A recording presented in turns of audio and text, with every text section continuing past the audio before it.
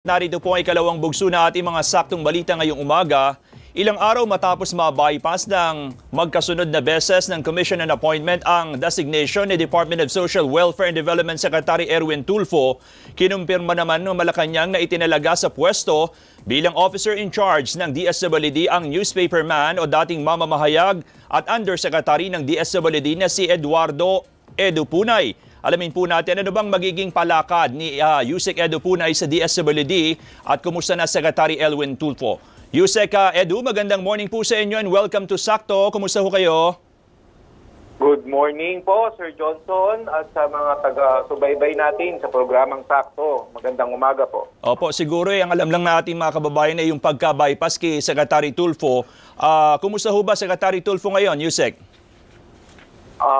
Um, sa kasalukuyan po ay nakabakasyon po si uh, Secretary Erwin po no at yun ang balita natin at hindi pa po kami nakakapag-usap dahil nasa abroad nga po siya at hindi pa siya nakakabalik so far sa DSWD uh, Sir Johnson. Opo, yun po ay para lamang sagutin yung ibang uh, mga kababayan natin na hindi raw uma-attend ng cabinet meeting si Secretary Tulfo. So officially on leave ang uh, Secretary Tulfo.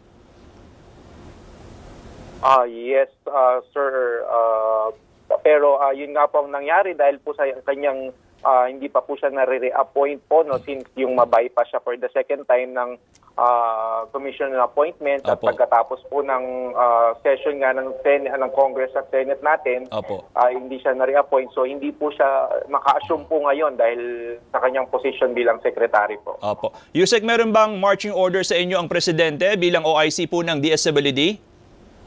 Yes, Sir Johnson, talagang uh, bilin ng Pangulong BBM na siguraduhin na tuloy-tuloy at maayos ang patakbo ng mga programa na namin dito sa DSWD na napaka-crucial, especially now dito sa mga naranasan nating pagbaha sa Visayas at Mindanao.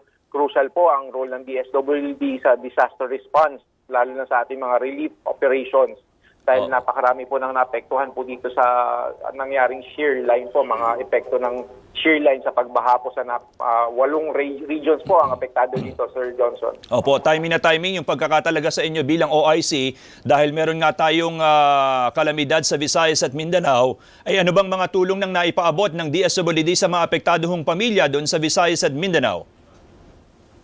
Yes, Sir Johnson. Actually, nung weekend pa, no, na over the weekend, nung Christmas holiday weekend natin, talaga nasa field na yung ating mga tao dito sa ating regional offices at nagsimula ng magbigay ng mga relief goods or ating ating mga family food packs at non-relief items po dito sa ating mga apektado mga kababayan. And actually may natala kami Sir Johnson na mahigit talaga 470 1,000 na mga individuals ang naapektuhan nito no?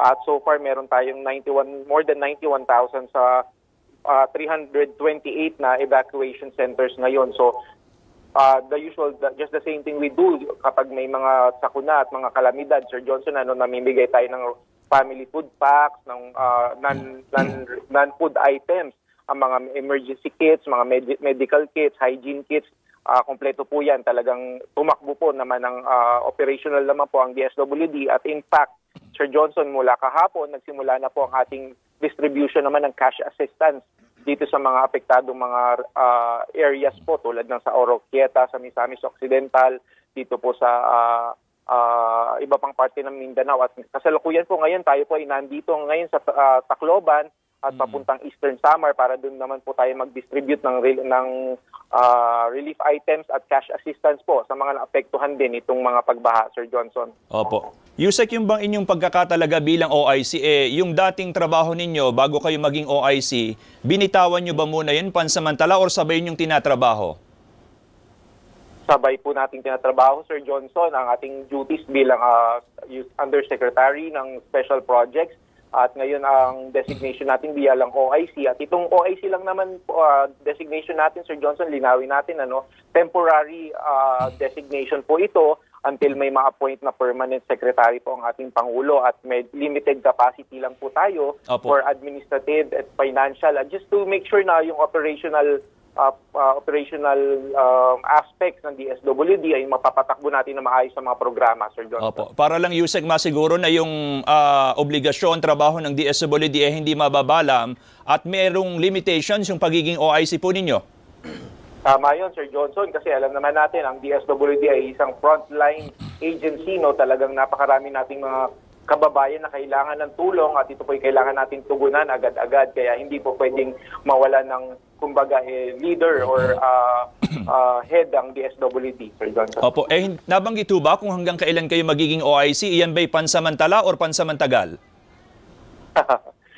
Ga- ah, tulad ng nabanggit natin, Sir Johnson, ito po ay ah, ah, hanggang may ma-appoint po na secretary ng DSWD ang ating Pangulo. So antayin po natin, ang alam, ang, ah, alam naman po natin lahat na ang appointing authority ay ang Pangulo at ang decision na yan ay nasa Pangulo po. Opo. Yusek, meron bang ibinilin sa inyo si Secretary Tulfo yung mga programang dapat ay siya ang mag implement since hindi ho nakalusot sa CA na itutuloy nyo na lang siguro? May ganun ho ba?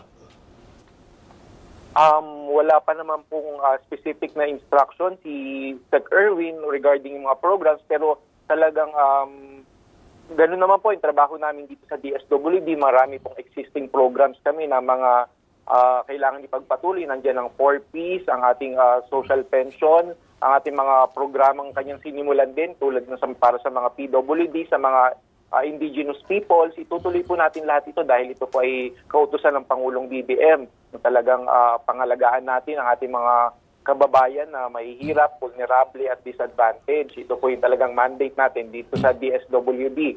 At si Sec Erwin naman po, kami mga undersecretary niya ay thankfully at fortunately, na-train niya naman po kami Mm-mm. sa mga dapat gawin ah, kahit na nandito pa po siya bilang secretary.